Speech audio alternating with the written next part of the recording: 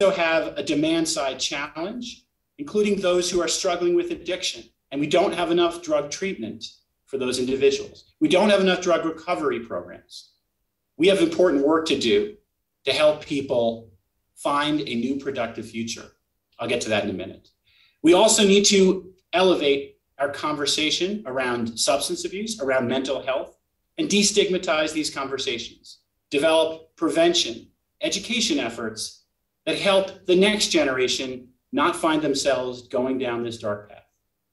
And we have to deal with the effects of this crisis, which are felt in our public health system, in law enforcement, in so many ways. Part of how we use harm reduction is to, for example, distribute naloxone, which I've heard from sheriffs save lives every week in jails across Colorado. And when someone goes to jail and they leave, having gone through, in effect, mandatory detox, they're 130 times more likely to overdose than the average person. We need to do better. We need to save lives.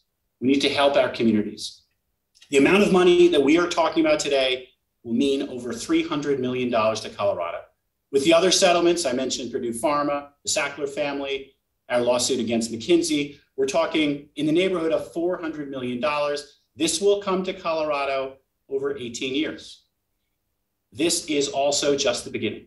Working with our local government partners, we are prepared to create what we believe can be a national model.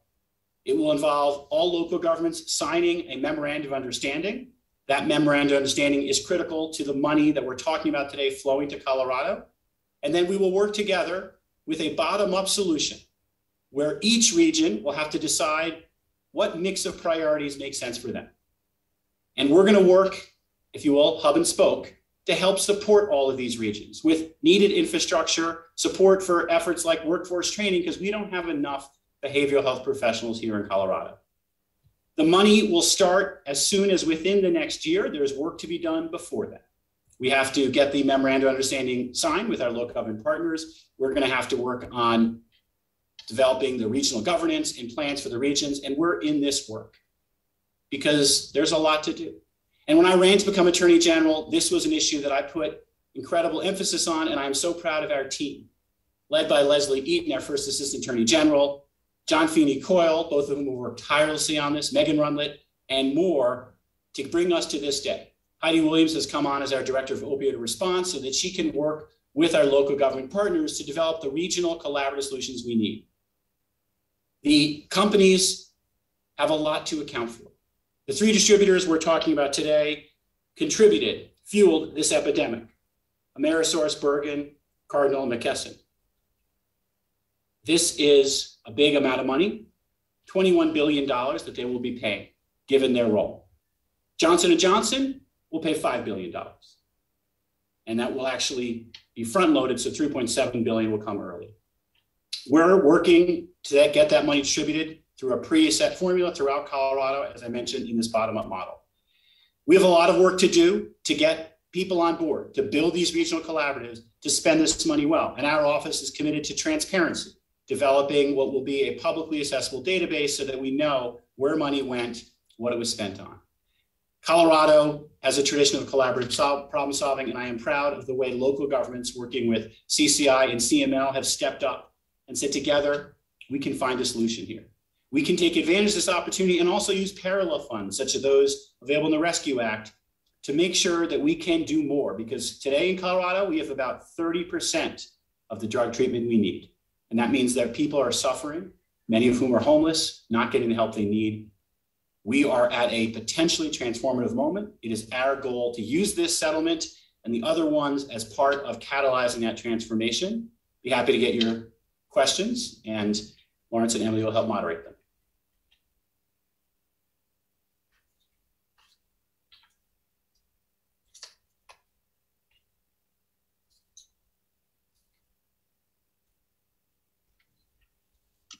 Do we have any questions for the Attorney General?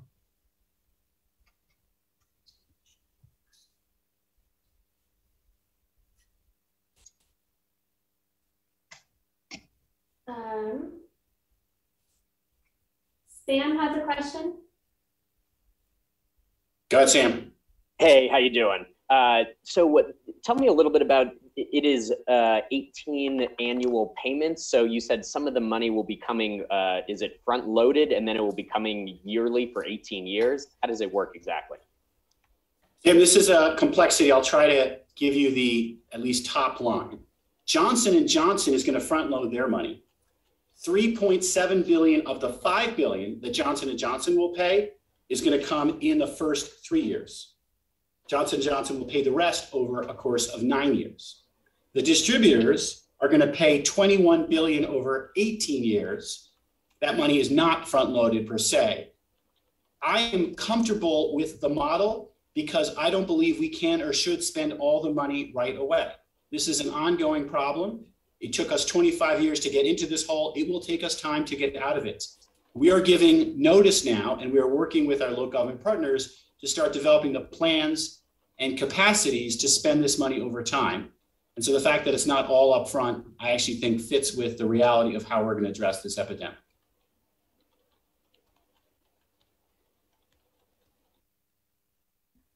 we have a question from Shannon.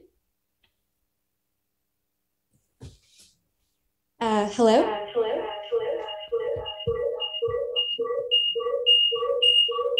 Oh my gosh.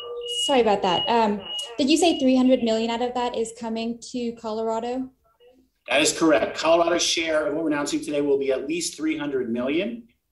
And when you talk about the earlier settlements and you put them together, we're in the neighborhood of $400 million that Colorado will have to address the opioid crisis.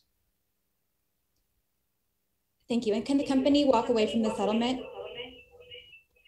The company has committed to the settlement. We have to meet our commitment, which is to both sign on behalf of the state of Colorado and also to bring local governments to the table, signing this memorandum of understanding so that we'll address all claims and we'll have a framework together to address this epidemic.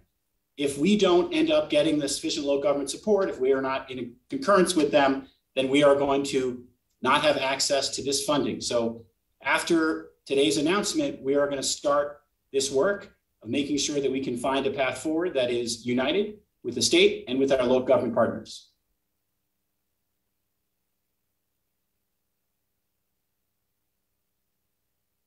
We have a question in the chat. Um, how will individuals and their families access the addiction services these settlements will provide? This process will take time. I'll take an example, Larimer County, who's already shown great facility in developing capability, they will be able to spend the funds to scale up existing services or develop new ones, which means in almost every part of Colorado, there is a compelling need for more addiction services.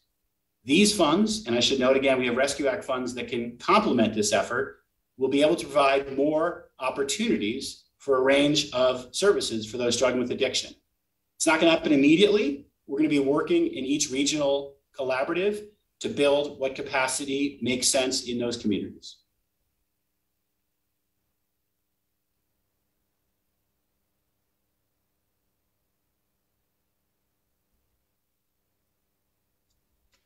Other questions for the Attorney General?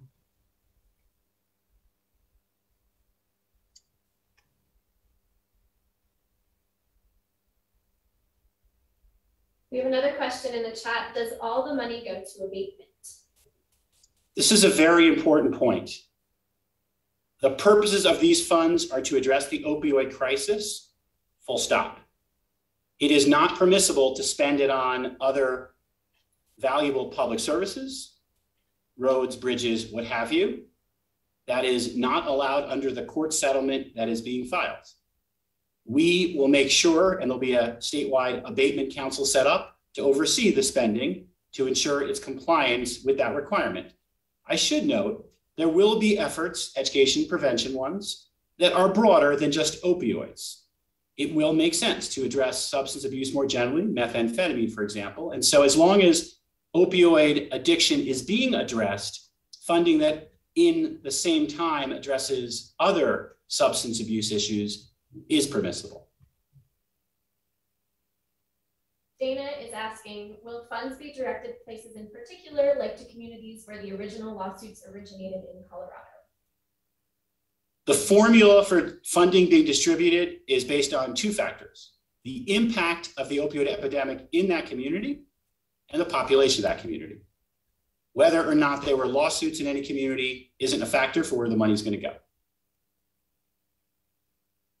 It looks like Sam may have another question. If local governments uh, elect not to sign this memorandum of- understanding, is left out of any settlement money?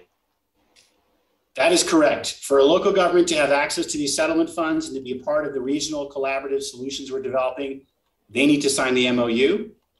We obviously also need a sufficient critical mass of local governments on board to get the money. We believe this is the right deal for Colorado, and we'll be doing our best, working with our partners in CCI and CML to make sure this is a solution that works for all of Colorado. What is that critical mass? It is not defined precisely, but it is the overwhelming majority.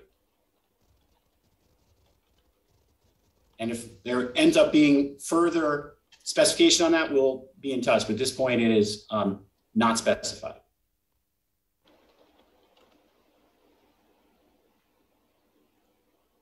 All right, uh, Shannon asked another question in the chat. Would any of the money go directly to individuals who lost loved ones or those with substance use disorders?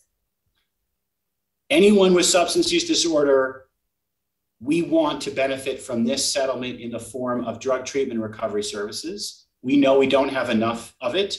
We know there are people whose painful struggles are not being addressed. With regard to families who've lost loved ones, the unfortunate reality is we don't know that we have enough money to address all the needs for treatment recovery for those who are struggling. And so we aren't in a position to be able to give funds back because I don't know that we're even going to meet the needs of those who are struggling today.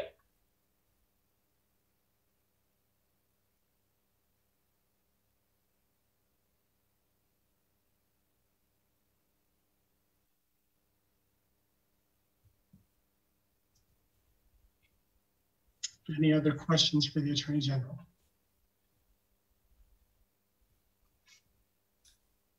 Let me offer a final closing thought, unless other questions do arise. As I have spent time around our state in all four corners, I've continued to hear stories about what a challenge this epidemic has posed. How many lives and communities have been harmed. Thus, we've made this a top priority and the ability to bring this amount of money, this focus, it's a once in a generation opportunity. We need to make the most of it. We need to make sure that those lives who've been lost, those families who are hurting, know that that suffering is going to be remembered. And that as we work hard to prevent more suffering, we keep the mind, keep in mind all of those who've we lost. And for family members who've suffered that loss and have dedicated their time and their effort to helping others, I applaud you and I am pained by your losses. This shouldn't have happened.